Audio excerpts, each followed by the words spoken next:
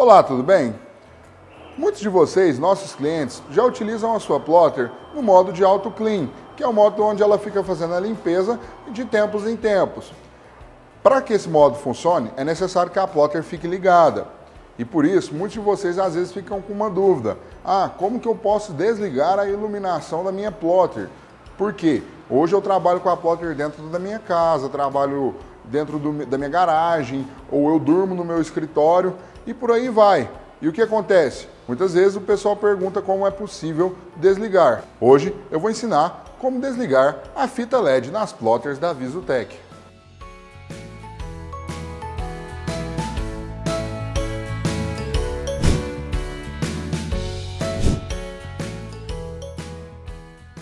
Então, pessoal, vou ensinar. Primeiramente, a gente vai chegar aqui no canto e sempre vai procurar pela terminação da nossa barra de LED. E aqui a gente vai encontrar esse plug. Encontrando esse plug, você pode apenas soltar o encaixe de um lado para o outro. Então aqui, ó, eu vou soltar de um lado para o outro.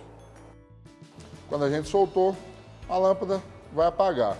Para ligar de novo, basta você plugar ele um com o outro e a lâmpada irá acender.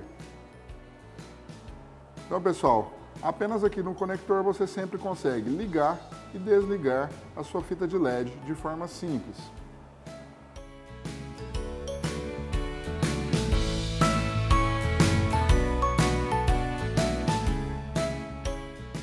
Então, pessoal, esse foi o procedimento de como desligar a fita de LED.